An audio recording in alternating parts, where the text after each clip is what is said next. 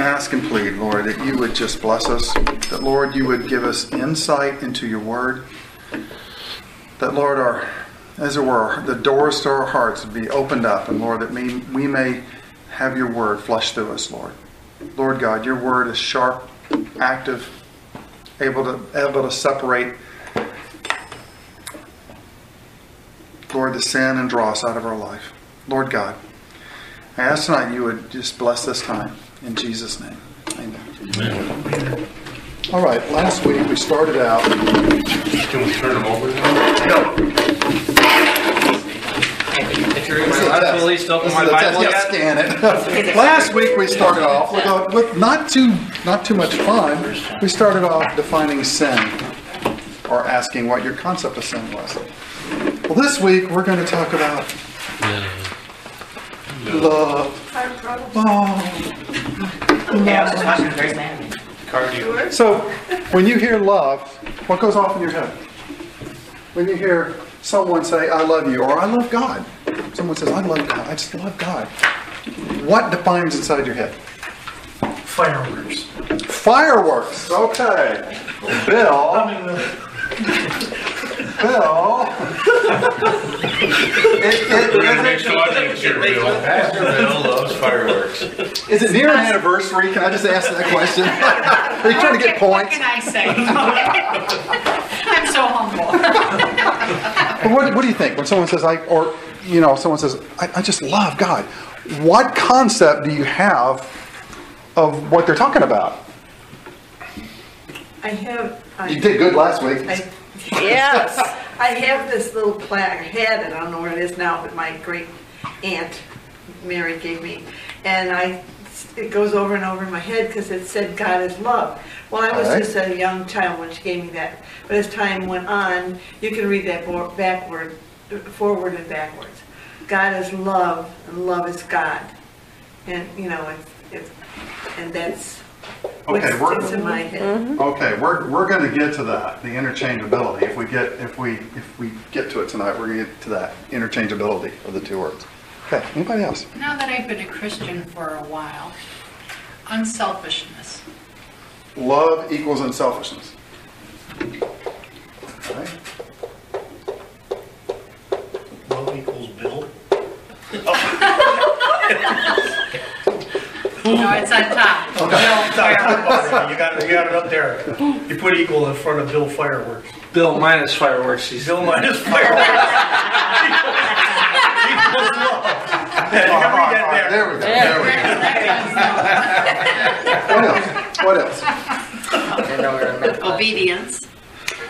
Obedience. Hmm. Sounds like rules. Hmm. Yeah, kind of like if you love me, keep my commandments. We didn't ask for ad libbing. It's her floor. But the two are one. True. That Well, that's gave true. lesson. That is true. That is true. How important is this? How important? Very. Okay, if you were to say the scale is from zero to ten verses in the Bible, verses about love, especially in First John, where do you think they rank? Zero being, eh, you know, it doesn't relate to me. Ten, A hundred. A hundred. Oh, a hundred. Okay. How important is this? Very important. The Mucho. number one. It's very important. Muy mucho. How many weeks did you teach on love out of First John? Probably about twenty. It was a few. so- Yeah, that's very important. It's very important we get it right, or at least understand what we're talking about. And that's what we're going to do tonight. Is talk. can You could you could do everything good, and if you don't do it with love, you it's Nothing. Worthless. A noisy, It's worthless. clangy. It's like Noisy gong, gong. like a clanging gong. Exactly. That's say Terrell. You were saying. You can turn it over. you know,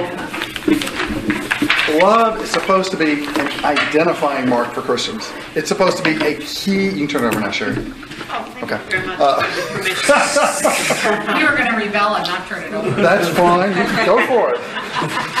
But it is supposed to be something that we are known by, right? Does anyone know John 13, um, 34 by heart? If not, except for the pastor. John 13, 34. Who's got that real quick? Okay, ready, set, go. Who can get there the fastest? Got it. It's all mentioned. Melissa! A new commandment I give you, love one another as I have loved you. Okay, here we go. Melissa, out loud again. A new commandment I give you, love one another. As I have loved you, so you must love one another. Let me ask you a quick question. Who said that? I think it's Jesus. If you have a red letter Bible, it's in red. It's in bold red. If it's Mine's in just the your- nearly inspired, so it doesn't have. Nearly? Oh, that's right, you don't have a red letter. Yeah, Yeah, Jesus said that we are That's right. to do what to one another? Love. We're supposed to fight and fuss and have little wars? No, love. Love. Okay. Well, one of the, remember, we talked about some of the heresies that were ongoing at that time. Okay? If you can remember, there was a Harry called Harry Potter? Harry Potter. Nope. There was a heresy called Docet. Uh, I'm having real trouble with the mouth tonight. Doceticism, thank you. It just wasn't coming out. Doceticism, remember what that was? That Jesus wasn't real, that he was an apparition, kind of like, ooh, you know, phantom. So it wasn't anybody real died, there was no bloodshed, which just undermines the entirety of the gospel about propitiation. I said it, didn't I, lady? the second was Gnosticism. Remember what Gnosticism was? What was it? Bill, you guys watched a movie on it. You could tell us about Gnosticism. Yeah, yeah, higher knowledge. Huh? Yeah, knowledge? yeah, that you you could be freed from this mortal body and get to a next plane through knowledge. I don't have to give my life to Jesus. All I do is just memorize the Bible. and I'm there. No, no, that is not true. But that's the Gnostics. What was another one? Cerinthianism. Now, if you mentioned, what was that? Was it? It was a story. I think John Stott had his book about. Of course, it's not Where Verified. John ran out John, yeah, John went into uh, somewhere and heard this Corinth- Corinth was in there and ran out because he said it's, it's, it's an apostasy to be in the same building with him. He was an enemy of John's, but what did he teach? Do you remember? He taught that Jesus didn't die on the cross. That basically, there was this man named Jesus, he led a good life, and at baptism, the Spirit, Jesus, came and was upon him to right before the cross, and he took off, and then that guy died on the cross. But that God, in the form of Jesus, didn't die. You can't kill God, which is a heresy. Because then, who died on the cross? He, he had to have had sin because he had the what? The Adamic nature, the inherited sin. No one born from Adam can be sinless, so therefore, someone with sin died on the cross, and their blood is of no good, no use to me. And then there was antinomianism. Remember what that was? Without Anti, hmm? Without law. without law. And what was it? Hey, my sins are paid for. I can go sin. They're paid for. I don't have to be held to any laws or any rules. All this was swirling around. Now, can you imagine what would happen in this church if one of those started popping up? We would immediately have factions within the church. And there would be the Wayne faction, and there would be the Serenth faction, and there would be fighting. Or maybe there'd be a church next door, and we're fighting with each other. You think there was a lot of love going on? No. When there's heresies popping up like this, it usually doesn't do well as far as as far as love, and it causes what's called a schism. schism. A schism, the Greek word is schisma or schisma, which is there in the first paragraph, and it's used in 1 John 2.19 in several places. The word schism literally means to tear apart. It's like me take, I don't have any extra paper here. Yeah, I do. It's like me taking this, this paper. This paper is whole. This paper is whole. Now it's got a schism. It's torn apart. Torn apart. Violently. There's damage. And probably didn't feel good if it had nerves and was alive. I'm not saying that the paper is alive. Um, but schisms, a cleft palate, the word in Greek is schism, which means it's separated, um, split, division. It's used in Matthew, John, you can look those up, and in Corinthians. Uh, it's used eight times in the New Testament, but it's used here in John about this apostasy, this heresies that were going on. But what I want us to do, and why we started off talking about love, is let's make sure we understand what we're talking about when we talk about love. Okay? Because we're going to get into love big time here in a minute. There are six words for love in Greek. Right, Wayne? Is it six or is it seven? I think it's six. I believe it's six. I believe there's six. You down in your book. Yeah, there's six word, Greek words for love, but only three. Thank you, Sherry, for eating head. There's- That's fine. There's only three used in the New Testament: agapeo, phileo, and storge.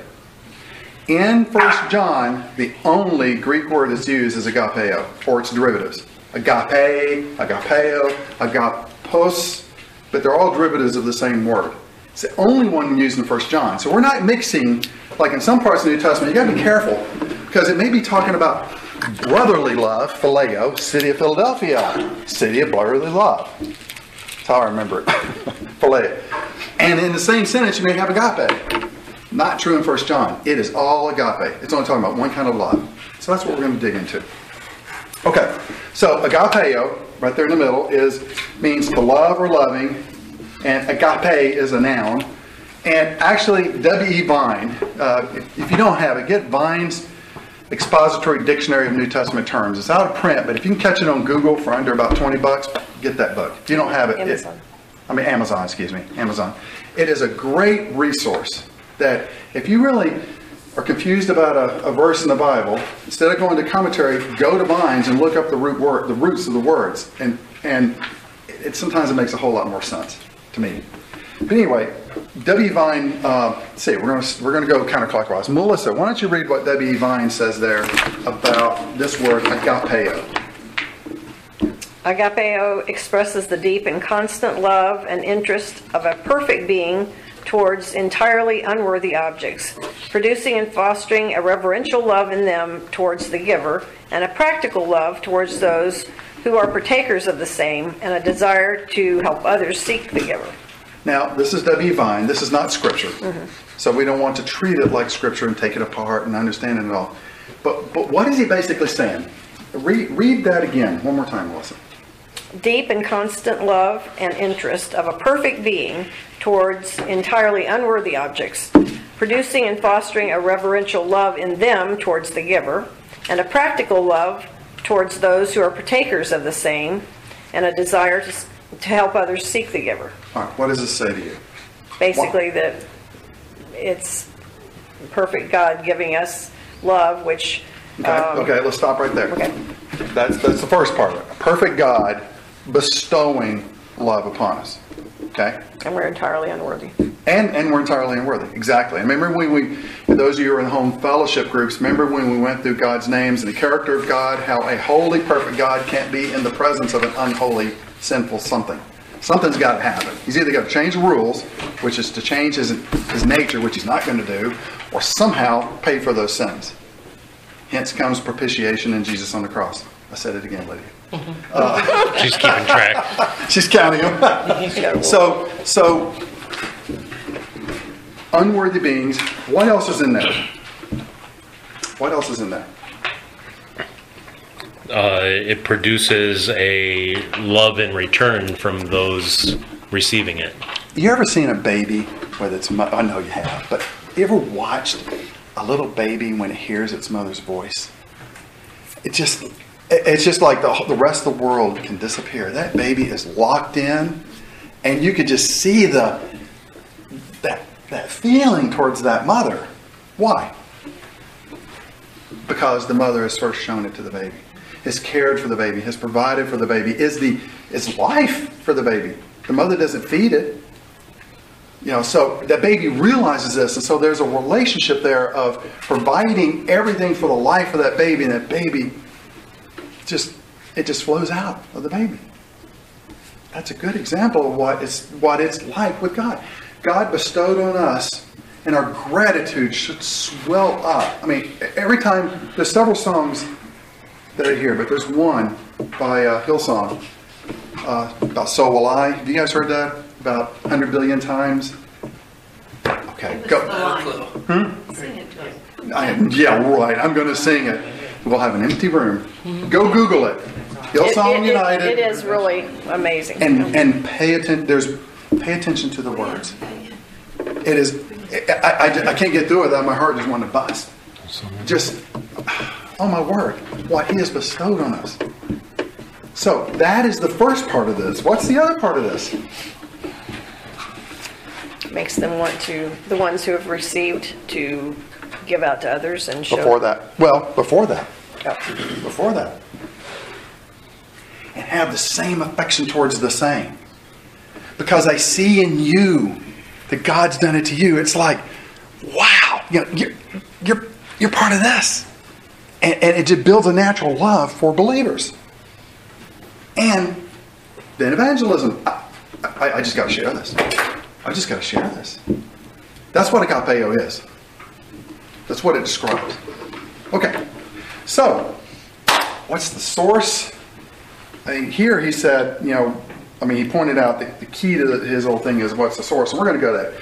Adrian, 1 John 4 7. We're going to go there. Okay, now I think we'll be in, almost entirely in 1 John. 1 John 4 7. Adrian, what is the source of our agape? Beloved, let us love one another, for love is of God, and everyone who loves is born of God and knows God.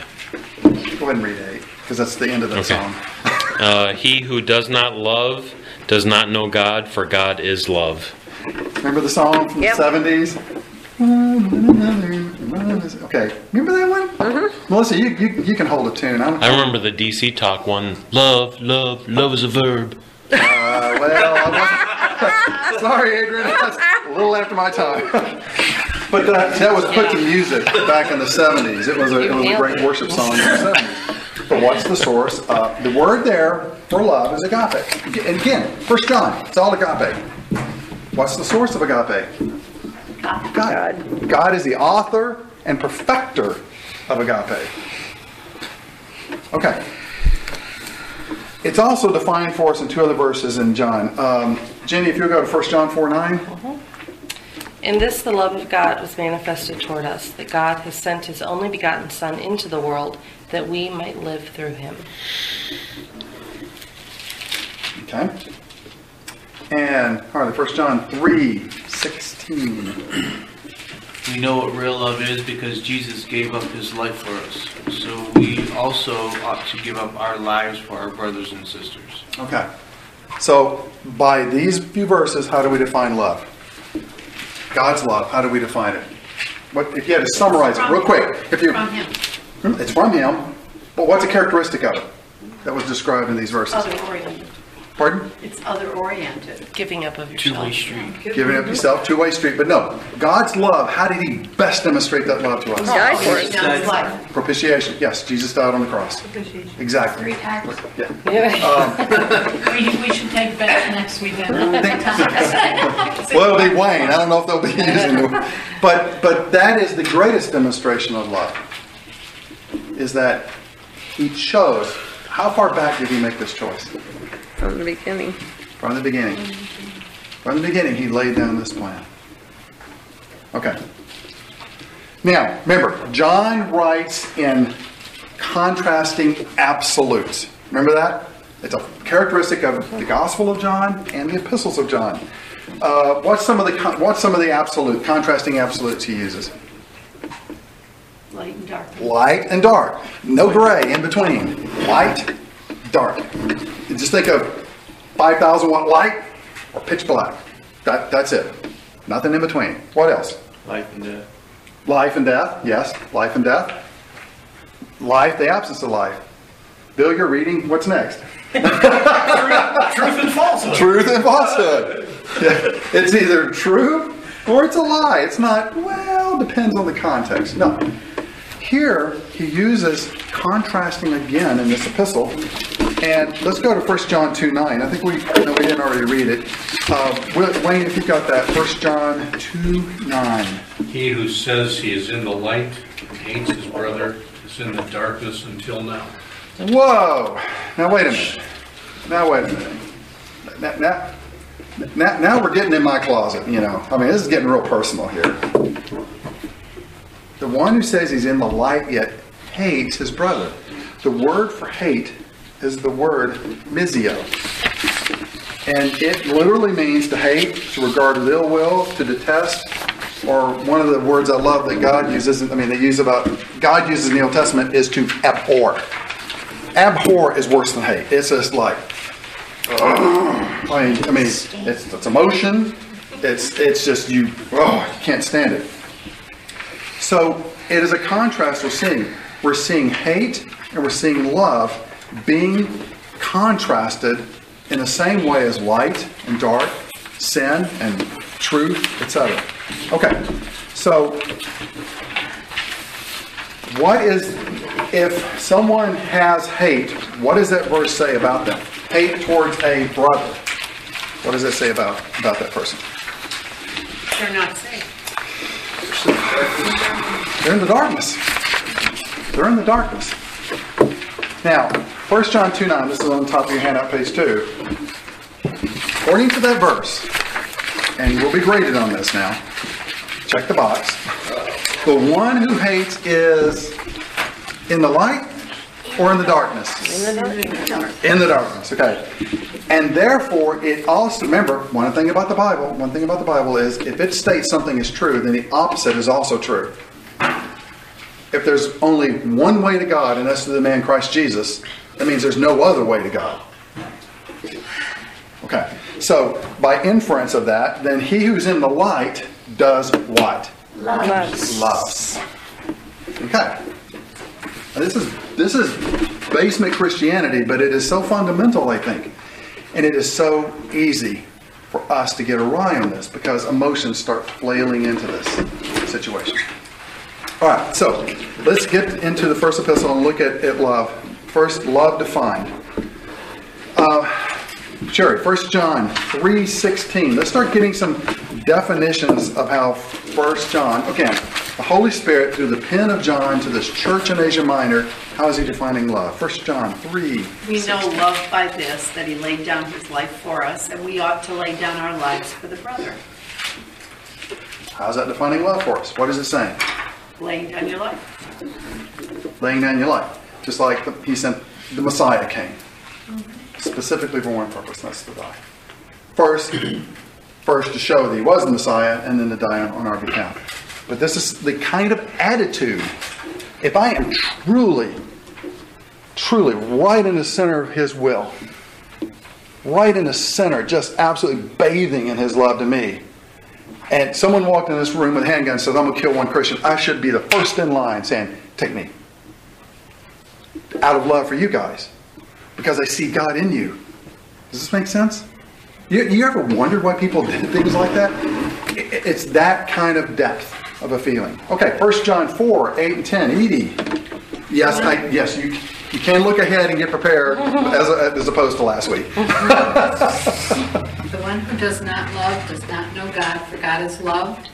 By this love, by this, the love of God was manifested in us, that God has sent his only begotten Son into the world so that we might live through him. In this is love, not that we loved God, but that he loved us and sent his Son to be the propitiation for our sins. Amen to that propitiation. Sum this up. God first loved us, so Yeah. he sent his Son so that we could go to him. Exactly. But if you want a good definition of agapeo, verses 8 through 10. That's it. That shows us what it should be like. Okay. 1 John 4 16. Bill. We have come to know and have believed the love which God has for us. God is love, and the one who abides in love abides in God, and God abides in him. What's this telling us? That No, it's not. it is. True, if I was anyone expressing letters. Let, let me answer it this way. Okay, I grew up. I grew up in this. I was a teenager in the '60s, and so was Bill, and so was Wayne, Sherry, Melissa. You know, early teens, teenagers. Remember? Oh, you know, I'm, I just love everybody. Okay, was that God? So is any love God? That was true. No. But then is it Real, love? real love What? is God. Harley says that was drugs. That, that, well, that was drugs, yeah. But, you know, Yeah, no, I mean, people are confused about this very issue. People are confused. They, they think because they have some sort of feeling about church or feeling that, that that's agapeo. It's no, it's not a feeling. It is feelings come in, but feelings get swept into this like a large ship moving through the water and stuff gets swept up behind it. Feelings get swept up behind agapeo. Agapeo is on a spiritual level. It really is. I, I, I feel. And this this idea that because oh we'll just we just love each other, that's God. No. It's phileo, it's erotico, it's a lot it could be a lot of things, but it's not agape. It's not. Okay. Um, okay, again, we're going to go back to what's the source. Uh, okay. I'm going to step on my own toes here. I usually do. If you, if you want to know what's going on in my life, just wait, look at what I'm writing and hear what I'm teaching. You know, no, Paul's been, he's stomping on his own toes because I usually share where I'm, I'm having struggles or hurts. I hope it's not me. Have, no, good grief, no. Well, it's right there, on, uh, here, right here, sure. Have you ever, I said, I hope it's not me. have you ever heard someone say, I just can't love that person? I've heard them say more that they don't, can't like that person. Mm-hmm. I haven't heard too many people say they can't love them. Or have a hard time loving that person? That one. I've heard that a lot. Heard that a lot. Yeah. Well, let's go to 1 John 2, 4 through 6. Who is up next on deck? Don. Don's on deck. The man who says, I know him, but does not do what he commands is a liar, and the truth is not in him. But if anyone obeys his word, God's love is truly made complete in him. This is how we know we are in him. Whoever claims to live in him must walk as Jesus did. Okay. This is my WWJD moments. what would Jesus do? It's a trite saying from the 90s or whenever that was. So truthful. It is such a truthful thing. If someone walked in this room that I did not like, and I'm like, I just can't like that person or love that person, what would Jesus do? My word. He went to the tax gatherer's house. He talked to the to the Samaritan woman at the well.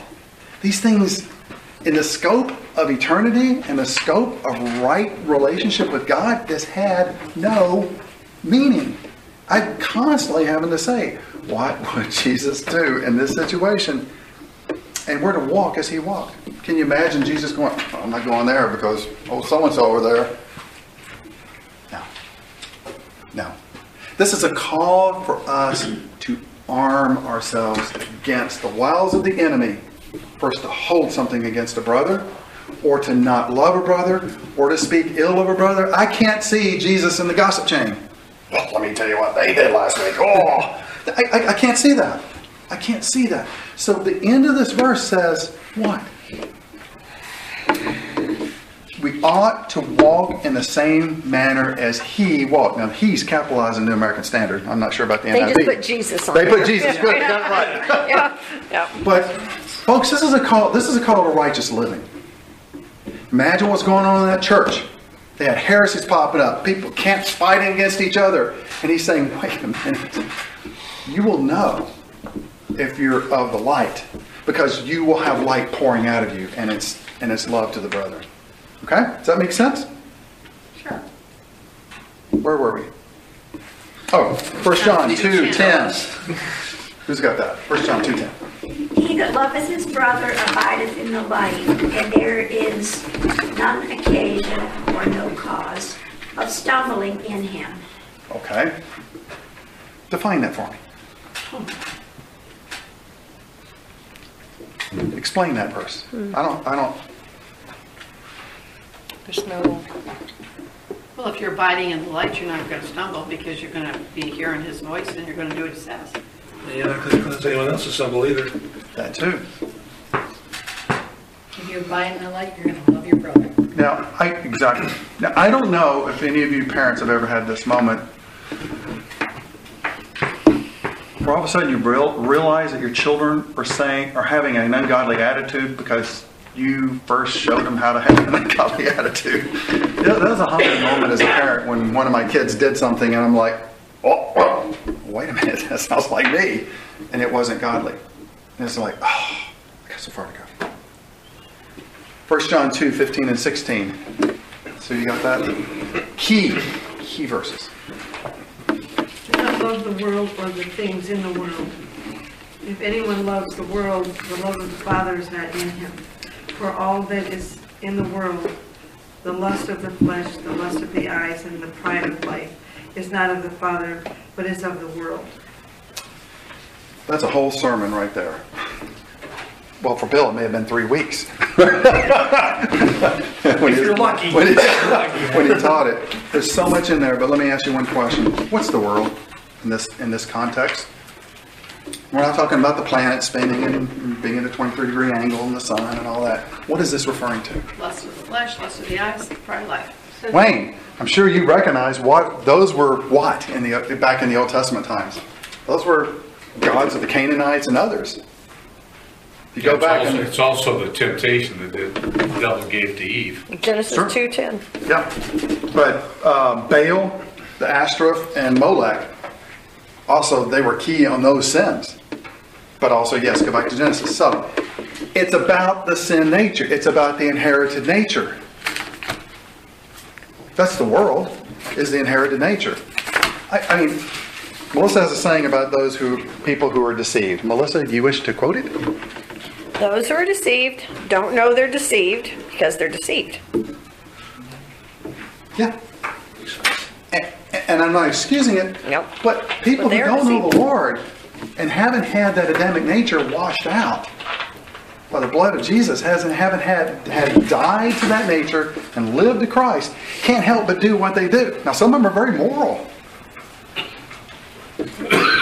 But in the end, is it can it be moral enough for God? No. No. So that's what this is talking about, is if you display the things of the flesh. Got to ask yourself a question. Well, I've just always been a Christian. Really? Well, maybe we need to find when that really happened. He's calling into question, think, what's going on in this church? Divisions, heresies. The Holy Spirit, through the pen of the Apostle John, is calling into question if you're behaving like this, you're not behaving like Jesus or what he said or what the Gospels, which were already out in circulation, say Jesus said you should behave. You've got to call into question your motives and where you're coming from with what you're saying. Does that make sense? Okay. All right. What should be the impact of this? If we are in the, just think of agape love coming down like a two foot wide stream of water, and I'm standing in the middle of it, bathed in God's love, and it's just doing things to me. What should those things be? What should those things be? Trent, the next verse. 1 John 4, 17 and 18. Trent, wait, I'm leaving. Out here. 1 John 4, 17 and 18. Love has been perfected among us in this, that we may have boldness in the day of judgment, because as he is, so are we in this world. There is no fear in love, but perfect love casts out fear, because fear involves torment. But he who fears has not been made perfect in love. All right. What's the first thing being in the center of that agape love should do for me? Boldness. Boldness? Okay. Boldness in what context, Adrian? Um, it says we that love has been perfected among us in that in this that we may have boldness in the day of judgment. Okay. Okay. Anyone else? In my, I wrote down some notes on this, on these couple verses. It's when it talks about, so we will not be afraid on the day of judgment. It's like a child to a parent versus a criminal to a judge. When a child is getting uh, uh, corrected by his parents, he still knows that his parents love him. However, if a criminal is getting judged by the judge, the the judge has no ties to that criminal, so he's gonna get whatever, whatever he, whatever the judge is gonna give him. There's more mercy from the parent than the Okay. judge. More- Th- These are all good. These are these are these are hammering all around the item here. Let's go back to what Adrian said about boldness. Okay. In verse 17, by this love is perfected with us that we may have. Now you're in what version? New King James. New King James. Melissa NIV. Confidence. Confidence. New American Standard. Confidence. Anyone have it different? It really is assurance more than anything else. Confidence. If I'm in the middle of this agape love and if I truly understand what can man possibly, possibly do to me? What can any of you or anyone do to me? Melissa could, could get on a lying streak and say that I've stolen money, I've robbed, I've pillaged, I've done all this, and they send me to prison and put me on the gallows. Should I fear that? No. Because the, the vapor of time we're here on this planet, she isn't going to do that, right? I hope not. Okay. Oh, yeah. the vapor of time on this planet pales into insignificance considering eternity. And that He died for me, His blood washed me of my sins. What can shake my foundation of my belief? If I truly believe this, should I fear? Should I fear the world? Should I fear eternal punishment? Let's back up. Let's go to the key one. Should I fear eternal punishment? Why not? His love's perfected in you. True. How thorough was Jesus' blood that was spilled to erase my sins? Completely. Complete. Is there any way one's going to slip through and say, "Aha, got you"? Yeah, you're going to come my way, pal, because I found one Jesus didn't wash. No. There's nothing with that great of assurance on this planet. I mean, we, we've been together 41 years, I and, and I'm pretty confident of Melissa's love for me and my love for her. But it, it, it's like a, an ant compared to an elephant, compared to uh, the confidence that God is going to do what He said He's going to do. So, what should be my attitude towards judgment? Fear. No fear. No fear. That then makes me bold. I have confidence. I'm not like, well, you need Jesus. No. I know what he's done. I can bold. You ever wondered how those early Christians went to the Colosseum, saw lions coming out to tear them up, and they were singing hymns as they were being torn up by lions? They were camped out in this. They knew, I shouldn't fear man. Does that make sense? They had a confidence in eternity through the blood of Jesus Christ. Okay, Also, God's grace was poured out on them in their time of need. God does that. Uh, and this is the theory I have, is that we, know someone, bless their heart, they're, I mean, they had a horrific situation with, a, with a, the birthing of a baby. And the baby died. But you could just see it all around them. Just, I mean, agape was just pouring out through them. They were counseling people coming, this couple. Because God's love was just, I mean, just like a fire hose, just pouring out through them on everyone. They were right in the middle of agape. Their confidence wasn't shaken. They were able to bless others through that. All right. Another outcome. The second outcome is love for the brethren. 1 John 2 9. Let's go back to that. Who's that? Now you'll use, I know, the NIV, but that's okay. Go ahead. 1 John 2 9. No imperfection version? Yes, the imperfection version. That's good, Robert. I'll get that one. That's very good. Much better than nearly inspired. Thank you. Thank yes. However, nearly inspired is more accurate. Yeah. NIV is good in some translations. Go ahead. In some, some versions. Go ahead. Go ahead. Anyone who claims to be in the light but hates his brother is still in darkness. Okay, mine says brother, yours says brother. Anyone have it any differently? New King James's brother, Adrian? Uh, yes. Okay. That word brother is the word adelphos. Okay, again, I mean, the, woo, we know some Greek. I mean, it's not that. It's just getting back to the root of these words because these things, remember, when someone said agapeo, back then, they knew exactly what that meant. That didn't mean brotherly love. That didn't mean it, it meant a certain thing. and we kind of lose a little bit of that in some of our English. But anyway, adelpheo, it means brother of brothers, kinsmen or relatives. But importantly in the New Testament, it means someone else who is of the word. It really implies that. And it is used throughout uh, First John, and it really is implying about members of the Christian community. Again, people of the Word. So let's go look at a few of these verses. Go back to you, Melissa. We just read 2 9, but let's read it again. 1 John 2 9 through 11. Again, this is what? What? But, but, but, yes, ma'am. She's got her Bible open waiting to read it. I'm sorry. I wasn't, I was just following along. You can go on. No, no, no, I would not, would I am so not sorry. rob you of that. I, I, I'm, I'm, so I, I apologize. 1 John 2 9 through 11.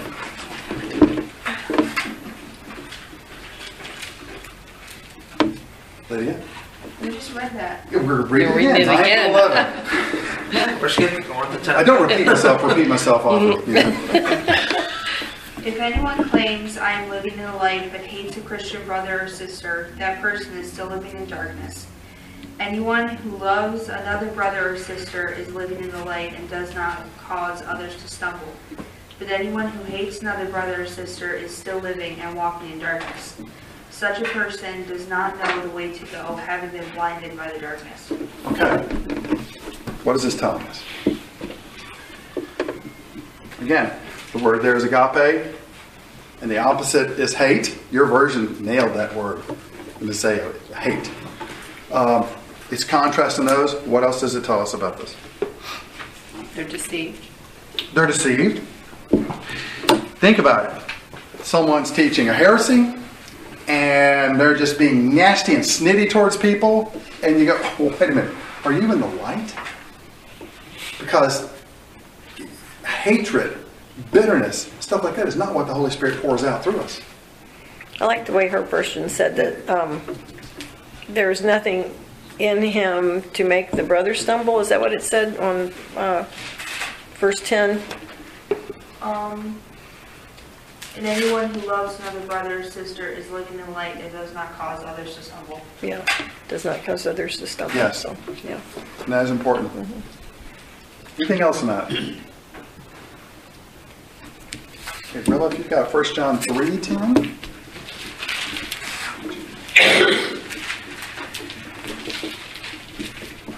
So now we can tell who are the children of God and who are the children of the devil. Anyone who does not live righteously and who does not love other believers does not belong to God. Whoa! Now we're stomping on our toes real hard. Again, John's in absolutes. Okay, the Holy Spirit, penned through the Apostle John to this church, is putting things in absolutes. What are the two absolutes you just read? What's of the devil? Unrighteousness. Mm-hmm. Unrighteousness? And unloving, not loving. and unloving. Unloving and unrighteousness is of the devil. And what's of God? Doing what's right, Doing what's right and loving the brother. loving the brother. So, is there any gray zone in this? Let's, let's keep hammering along here. Melissa, 1 John 3 11 and 12. How about you? I talk, I talk enough. 1 John 3 11 and 12, Melissa. This is the message you heard from the beginning. We should love one another. Do not be like Cain, who belonged to the evil one and murdered his brother. And why did he murder him? Because his own actions were evil and his brothers were righteous. Okay. The word beginning there. Is, all, is everyone, every translation have it that way? What beginning is this talking about? Beginning of the world, Beginning of the world? beginning of mankind. Beginning of man, well, yeah, beginning of mankind. How do we know that that's what this is referring to and not, oh, the beginning of the apostolic age or the beginning of this, the beginning of that? Because he goes all the way back to Cain. To Cain, and Abel. Exactly. He references back to Jealousy. Cain. Mm-hmm. Yes, exactly. So, were we told from the beginning by God that we should love and not hate? Mm-hmm. Yeah. Yeah. So it's not a new concept. It's not something new. I mean, It should have been something that was known. Adrian, 1 John 3, 14 and 15. We know that we have passed from death to life because we love the brethren. He who does not love his brother abides in death. Whoever hates his brother is a murderer, and you know that no murderer has eternal life abiding in him. Wait a minute, time, time out, time out. Now, this wasn't a church with zombies walking around dead. And what, what is this really talking about? You, can- you can refer, although I try to stick to First John, we can refer to some writings in Romans on this issue. Talking about heart issues. What did Paul say? That when we were slaves to sin, we were dead to righteousness, right? We're dead in our trespasses. We were dead. When it comes to eternal life, we were dead. And then Jesus raises us to newness of life, right? So that's the death it's talking about. Again, total contrast here life, death. No in between. Life, death. What else does it say? What does it say about um, about the brethren in this? Hatred and murder are the same thing. Hatred and murder. Did you remember anyone else kind of drawing a similar conclusion? Maybe in the Sermon on the Mount? I never will forget, there was, we had this, we didn't have a lot of money when we lived out there in um, Gravel Ridge, remember? But we scraped up some money and bought this little metal building, I think from Sears. I mean, the strong wind, the thing would fall over. But anyway, it was to put our lawnmower in and stuff. And so I got some sacks of concrete, made a concrete pad to put this thing on. Of course, it was not square or level, but anyway, it, you know, and I laid out all the metal pieces. And Melissa said, "You to come in and eat." So okay, I came in and eat. And got distracted, and some neighborhood kids came over and started bouncing up and down on the metal walls. I went, "Those idiots!" Oh. Melissa's mother almost had a coronary right there. She pulled me aside. Jesus said, "Don't say that. You're, you're going to be guilty of hellfire." And I was like, "But they're idiots." Look at but in that moment, my attitude towards those young boys was not of righteousness. My attitude was fury. My attitude was not holy. And Jesus warned us against that, right? He said, even if you say raka, which meant empty head. An empty head. Wayne calls me rock all the time on the phone. But anyway, you know, I'm kidding, I'm kidding. but even just to say that, Jesus said, No, he's saying you rock. That's Yeah. what You rock. Way to do- Yes. It's that Italian ah on the end. but you mean if I just call someone an empty head, I'm going to go to hell? Is that what Jesus meant when he said that? What did it mean? It was the heart attitude of Exactly. hate. If I am sitting in the middle of agapeo, I'm not going to have that attitude. If I am having that attitude, am I really in the flood of God's love? Am I really a believer? Now, you're saying, well, wait a minute. If you have a habit of doing that, how many times is a habit made? If I'm, am I a murderer if I only kill one person? Or am I a murderer if I kill 10? Or, oh, I'm a murderer if you kill 12. How many times does it take to be a murderer? Once. Once. What word is used in this passage? Murder, right? Yeah. See, what John is pointing out, again, Holy Spirit pinned through the Apostle John to this church in Asia Minor is by their actions, especially when the heat is turned up, you find out what they really are. What do you see coming out? What do you see when the pressure's on? What do you see when you hear someone saying things about your wife? Or you hear someone say, "You- you're just an idiot, or whatever. What, what comes out tells you where they are. And it's either death or life. There's no in between. Okay. First John, what did you read? Uh, 14 and 15. Okay, Jenny, can you do 16 and 18? First John 3, 16 and 18? 16 and or through. Okay. Through. through. By this we know love, because he laid down his life for us, and we also ought to lay down our lives for the brethren. But whoever has this world's goods and sees his brother in need and shuts up his heart from him, how does the love of God abide in him? My little children, let us not love in word or in tongue, but in deed and in truth. All right. So how far does our love go? All the way to How our far? actions. Lay down our life. Actions speak. Actions speak louder than words. Melissa's dad had this little plaque. It's this from Benjamin Franklin. Well done is better than well said. Uh, applies here. How far should you go as far as loving another brother? At the cost of your very life. At- even up to the cost of your very life, if that's what's required. That's a pretty heavy toll, I think. Let's keep going. 1 John 4 11. Dear friends, since God, since God loved us that much, we surely ought to love each other. I like that word surely. and it's not with a capital S. Call me Shirley. Don't call me Shirley. Yes, exactly. It's not that kind of Shirley. It, it sounds like an appeal, doesn't it? Come on. Yep.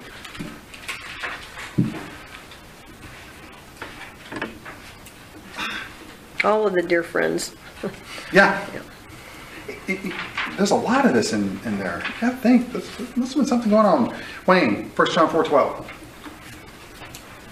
No one has seen God at any time. If we love one another, God abides in us, and his love has been perfected in us. All right. So now we get back to the hippie. Well, I love, I love, therefore, you know, I, I must have God in me or something. You know, this leads to all kinds of human, I mean, animism and all these other isms about just love is God. No, that's the cart before the horse.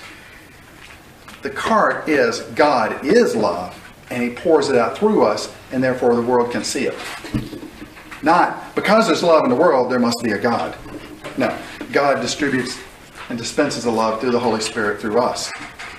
So if we gather up all the love in the world, does that equal God? No. He's the source of it. Remember, pipeline flows this way, from, from heaven down. And they want so badly for it to be the other way, though. I, I, I was just thinking, I, I've got this girl on my Facebook that I went to high school with, and at first I thought she she's Buddhist, but now I think she's more just some some Far Eastern religion, and it's always she's always talking about love. Of course, God's never in it, um, and it's like I don't know. It's just it's it's it, she's making love kind of like God. I don't know. It's it's it's and of course when anything pressures her, it's not love that comes out. You know, it's it's pretty hateful. Yeah, and there's a lot of there's a lot of pagan religions, which is all about putting yourself in, a, in, a, in an environment where you just love each other, and you know you you keep out anything that's. I mean, this is why you have these religious Communes. communities and communes is to keep out the things that would cause you to go, you know, and get all upset. So yeah, yeah.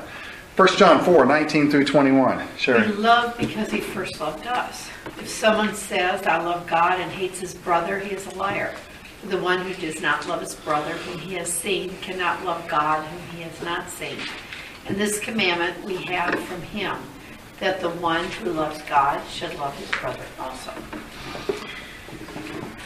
I don't think we need to diagram those verses. They're, they're pretty ex- self-explanatory, right? Okay, let's go to the outcome. Uh, let's go to another of the outcomes. Well, One of the outcomes was that we would not have fear. Another outcome of being in the center of agape. Just think of it as a giant fire hydrant of water coming down. You're in the middle of that love of God. It's going to cause you to not have fear. It's going to cause you to love the brother, and it's going to do something else. 1 John 5, 3, Edie. For this is the love of God, that we keep his commandments, and his commandments are not burdens- burdensome. Okay, so explain that. You do what he says because it's easy. Because it's easy and you want to. Yeah, I mean, if Melissa asks me to do certain things around the house, I mean, it's drudgery to me to want to go do it. But on things I want to do, I go do them, and I'm just happy to do them. You know, you have things like that. Let's go clean the toilet. Uh, well, no, I think I've got to go watch a football game. but let's go fix dessert. Oh, I'm, I'm right up there, ready to ready to get the flour out and the sugar and everything else. You know, I think this is what they're saying. You you just want to. What's the opposite? Remember, If there's a truth in the Bible, the opposite is also true. What's the opposite of this? You don't want to. If you don't want to, if God's commandments are a burden, then you may need to question some things. Is that being too judgmental? Anything else? It's the word. Okay, let's go. 1 John 3.23. Bill. This is his commandment, that we believe in the name of his Son, Jesus Christ, and love one another, just as he commanded us.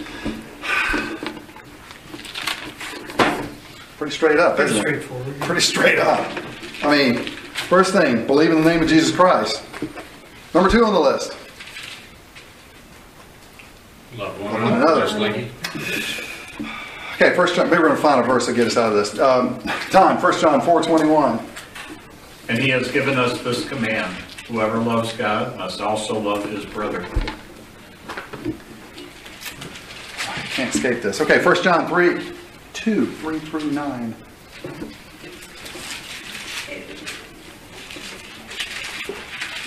And hereby we do know that we know him if we keep his commandments. He that saith, I know him, and keepeth not his commandments is a liar, and the truth is not in him. But whoso keepeth his word, in him verily is the love of God perfected. Hereby know we that we are in him. He that saith he abideth in him ought also himself also so to walk, even as he walked, meaning Jesus. Beloved brethren, I write no new commandment unto you, but an old commandment which ye had from the beginning. The old commandment is the word which ye have heard from the beginning. Again, a new commandment I write unto you, which thing is true in him and in you, because the darkness is past, and the true light now shineth. He that saith he is in the light, and hateth his brethren, is in darkness, even until now. Absolutes again. Right? Yep. And he restated. He didn't say I issue a new command. It basically is I'm restating this just so you get it straight. If you hate your brother, you're in the darkness. All right. Now we can talk about salvation and and we can talk about you know carnal Christians and all this. John was just basically saying, Holy Spirit through John to that church in Asia Minor was saying, we got factions, we got splits, we got people in war in the church. If you don't love your brethren, if both of you are so hateful, maybe none of you are saved. Is the way I would interpret this. All right, let's let's really start stomping our toes. Let's look at application. We've already talked about the heresies that were around at that time. And we had, you know, disagreements in, and I, okay, I don't want hands up. Have you ever been in a a church? Thank you, Melissa. I forgot to do that. Pull it gently. Remember, I pulled it apart last week.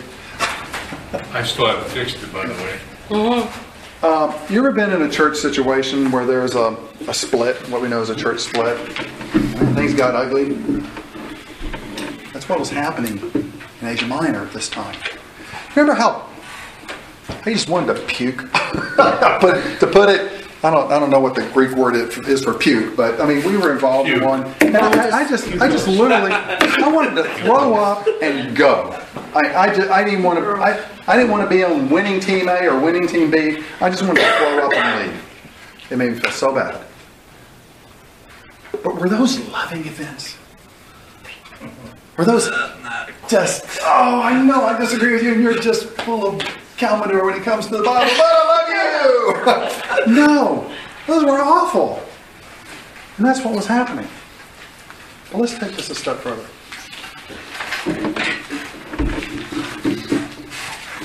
How are we to respond to fellow believers? You ever walked in the room, as soon as you walked in and you me even said two words, you know.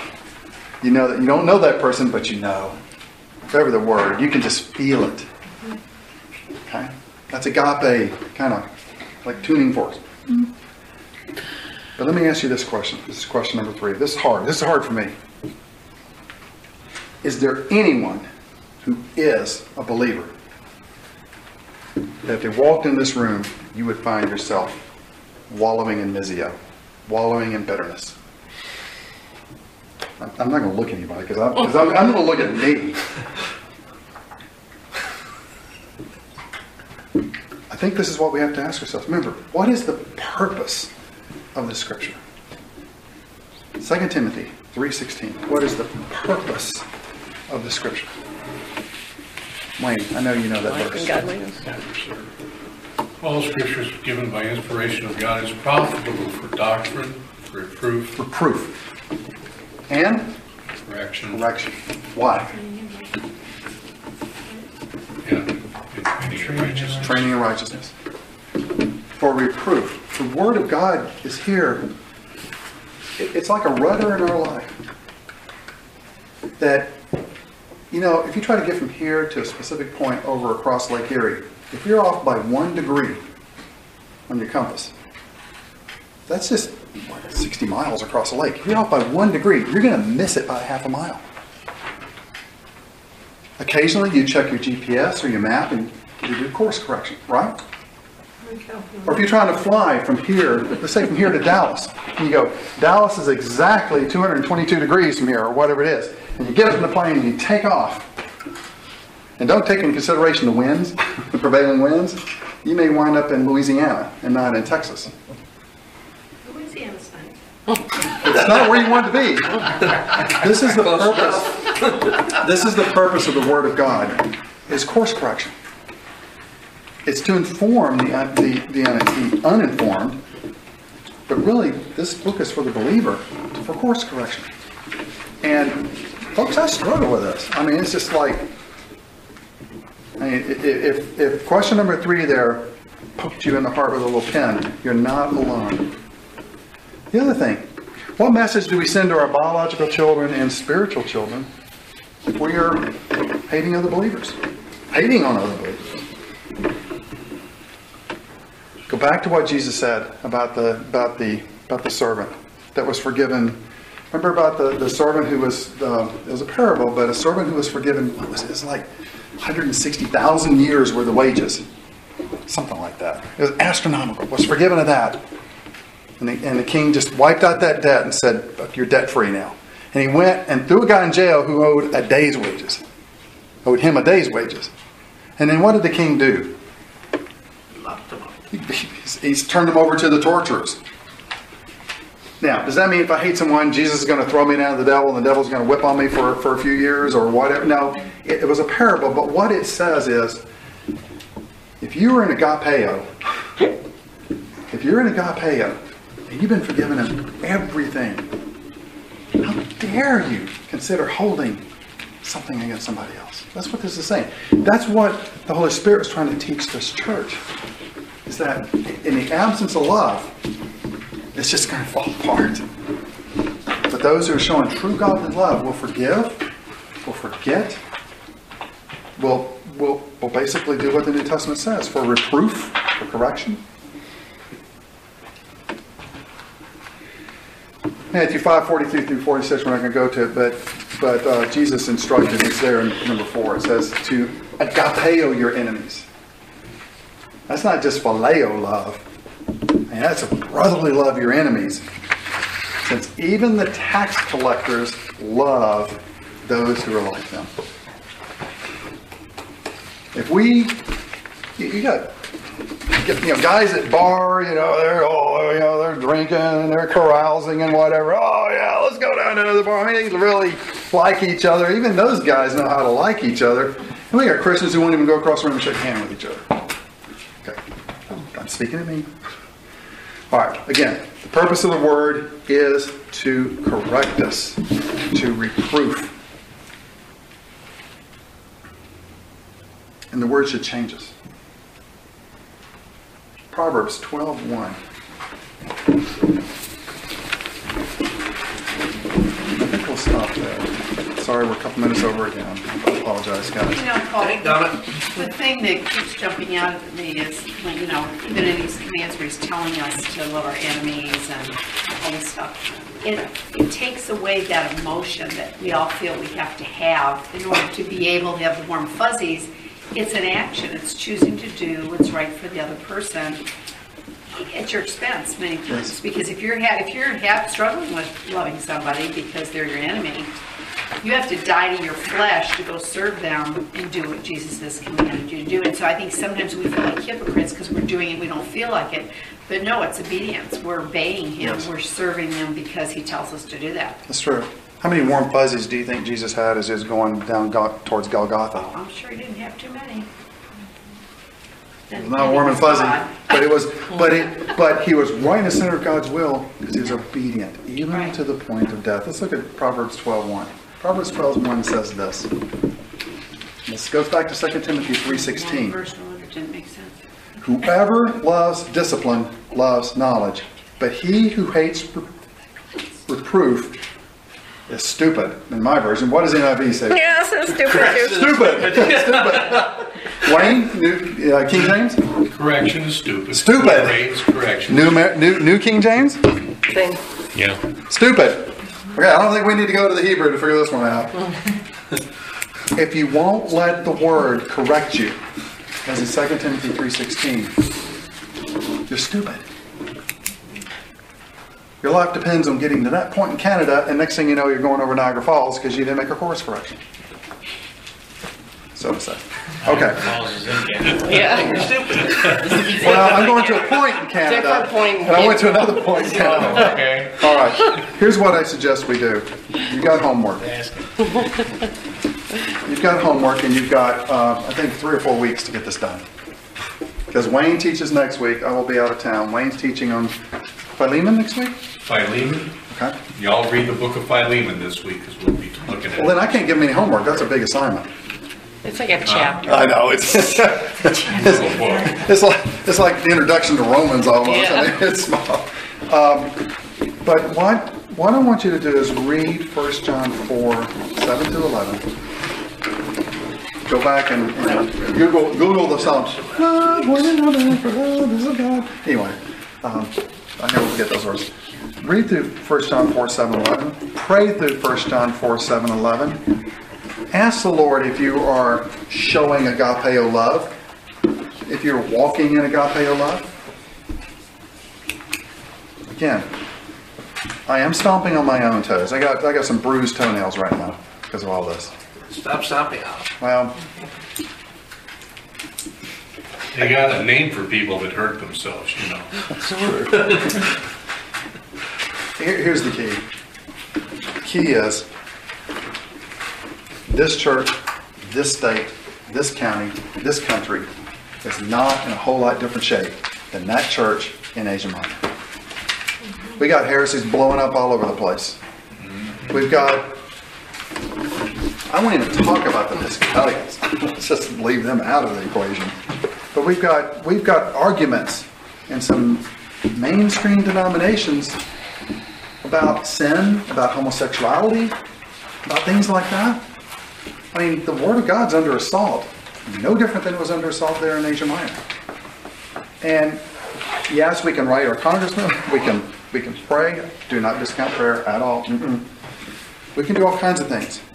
But what John, I think, was pointing out to the church is those of you who are in agapeo, have the love of God through you, in you, and through you, let your light shine. Let it shine. That will show the difference. And that's what we're, I think it's what we're held accountable to do, to show the love. Does this make sense? Mm-hmm. Okay. Just where we sing that song, Just Little Light of Mine. Sherry, you want to stand up and lead us on that? Well, You don't want me to. She has a better one she can sing, I'm sure, like. One day at a time. No, no, broken and spilled out. Okay. Prayer requests. Wayne, how's the